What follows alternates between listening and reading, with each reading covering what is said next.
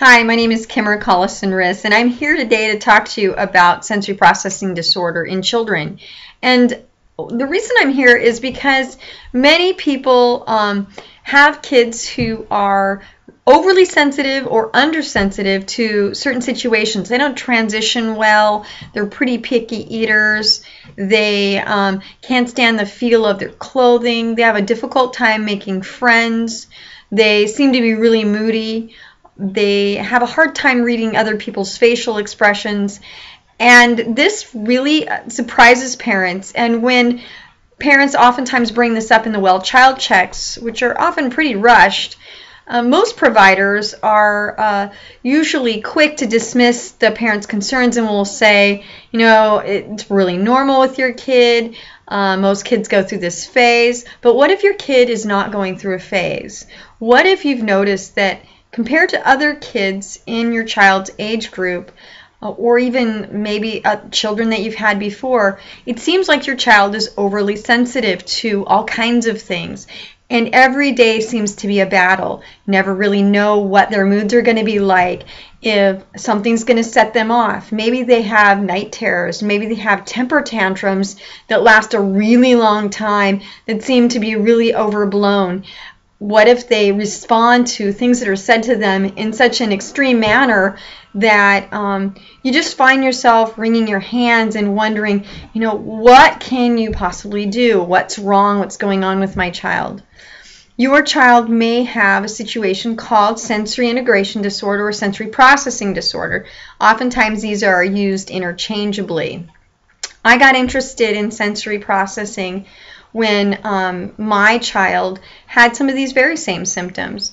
And I looked to pediatricians. I'm a nurse practitioner myself, and I should know how to take care of my child. I take help give advice professionally to many families and parents, and take care of kids. And um, this disorder is not something that the medical community has really recognized.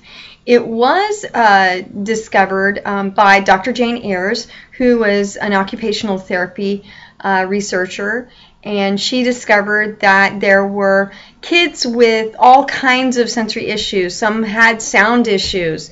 They um, didn't couldn't handle the sound of the vacuum cleaner or road noises, or they seemed to startle really uh, easily. Other kids had tactile uh, defensiveness. They would react when you'd put your hands on um, their body and they would kind of spring back like that uh, when you'd go to hug them or they were not the type of kids that were easily comforted uh, they were type type of kids who would um, really took forever to just get food into them. And um, certain taste colors uh, the appearance of certain foods were nearly impossible to get down. And so um, we were wondering you know what do we do?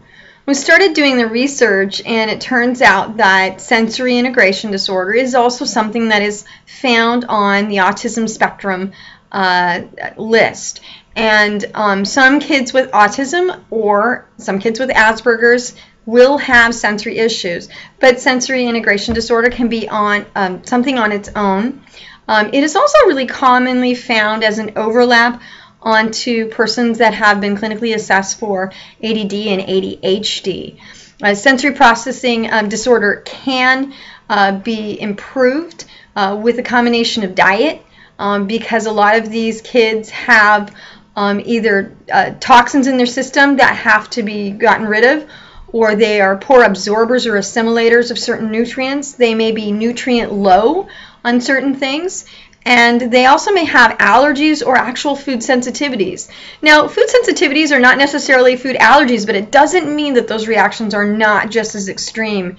Um, my daughter does not flag um, as a person who's allergic to um, bread products uh, or dairy products, and yet if we feed them to her, she becomes very angry, very sullen, um, has rage and temper outbursts. When we eliminate those from her diet, she um, does not struggle with the depression. She has more uh, ability to regulate her moods and uh, regulate her reactions and responses to things each kid that has sensory integration will have a combination of different traits. And on the website that um, I have, I can actually um, give a list of parents uh, to parents that can determine, hey, does it look like my child might have some of these issues? One of the first things that we need to do is eliminate all processed foods, feed only organic foods, uh, create regular calm routines. Um, make notes on how does your child respond to certain things. Do they overreact or underreact to touch? Do they seem to be, you know, ignoring you when you're talking to them? Do they just really not hear you, or are they extra reactive to certain situations?